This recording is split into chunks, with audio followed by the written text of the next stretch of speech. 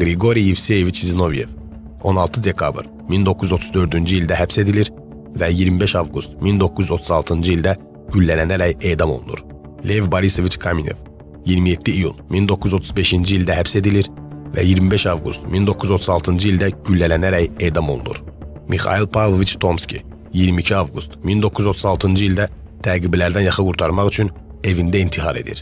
Aleksey Ivanoviç Rыкov 27 fevral 1937-ci ildə həbs edilir və 15 mart 1938-ci ildə güllələnərək edam olunur.